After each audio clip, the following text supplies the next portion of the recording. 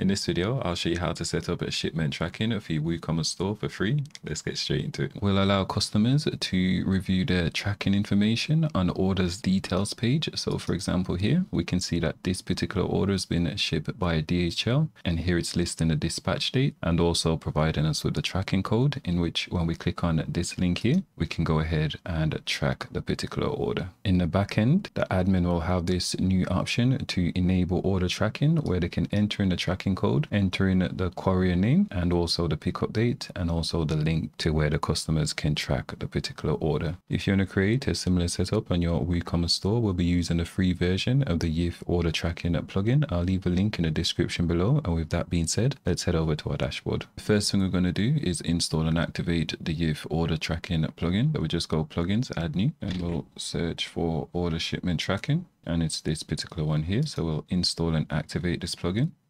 All right, and now we can go ahead and configure this plugin. So we'll head over to YITH and then order and shipment tracking. Okay, so we can add a default carrier. All right, so we could say, for example, DHL. So here we can customize the messaging shown on the order details page. So let's have a quick look at what this is referring to now.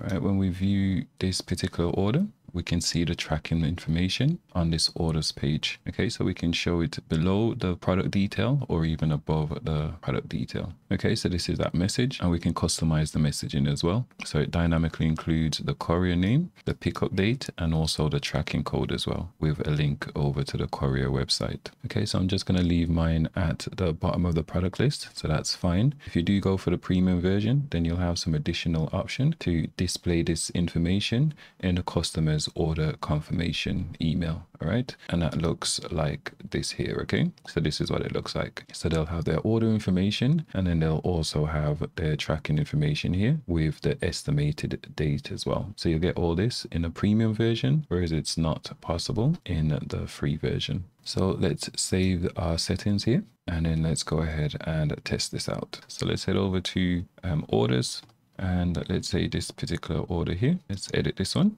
and then let's enable our order tracking. So here we can enter in the tracking code. Okay. And then we can add the courier name. So we can say DHL and then we can set the pickup date. All right. And then we'll also add the website link here. Okay. Okay, so for the website link, I'm going to send customers directly over to the tracking URL. You can send them to the homepage as well. It's totally up to you, but I think this is a much more user-friendly experience. So here they can just enter in their tracking number. So let's paste in our URL here, and then we can just update the order.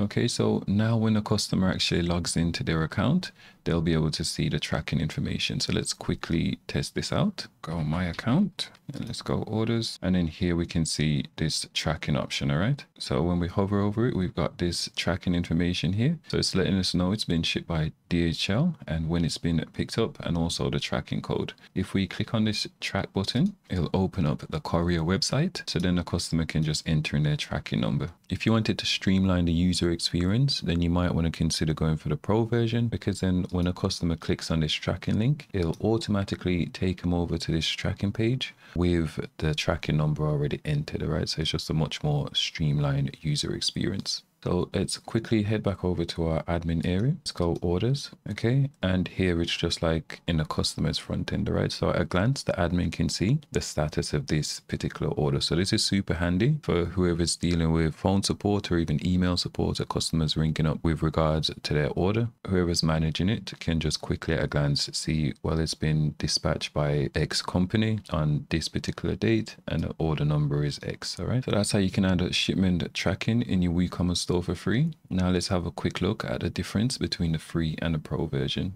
All right, so some of the key difference is in the pro version, you'll get access to over 480 couriers with the option to automatically send customers the tracking URL, right? That will take them directly to the tracking page. We can also import the tracking code via CSV. That's in the pro version. Okay, and you can also set an estimated delivery date in the pro version as well. Another standout feature is in the Pro version, you can automatically send customers an email with their tracking details once the order has been completed. Like and subscribe for more videos like this, and if you've got any questions, leave in a comment box.